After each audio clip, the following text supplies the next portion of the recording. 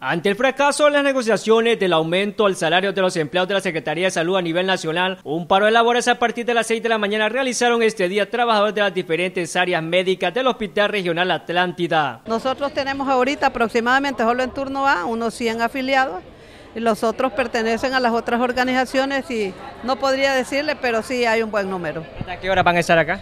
Eh, hoy el paro es hasta las 2 de la tarde. Eh, esto que van, ven aquí solo es el los compañeros que conforman el turno A, que es de 6 a 2, pero sí, ahorita ya ah, vamos a hacer asamblea y vamos a sacar los otros turnos. ¿Qué están exigiendo?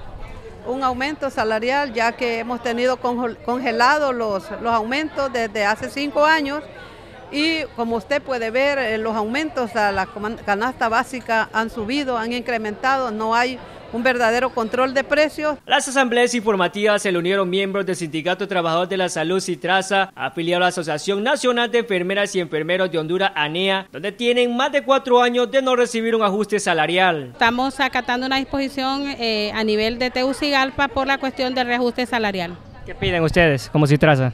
Pues como Citraza nosotros pedimos, al igual que todos los sindicatos que ahorita están en huelga, eh, que nos hagan un reajuste de salario porque tenemos ya seis años que nuestros sueldos están intactos y como todo mundo sabe, los precios de la canasta básica suben y no tenemos ya poder para poder estar bien nosotros. Y estamos utilizando estrategias internas para poder movilizar nuestro personal porque Citraza tiene una de las condiciones que tiene todo su personal afiliado en las áreas críticas del hospital. Mientras tanto, el personal de enfermería, administrativo y médico laboró de manera normal en la consulta externa, emergencia y salas de la hospitalización, según autoridades del Cintramedi seccional 6, quienes piden un aumento salarial de unos 3.000 empiras. Hay bastantes compañeros que están empleados que están ganando menos del salario mínimo. Para ellos estamos pidiendo que se, se le dé un reajuste salarial para que puedan ganar por lo menos el salario mínimo, ya que los compañeros que trabajan en las salas trabajan en la estadística, en farmacia, en los diferentes departamentos,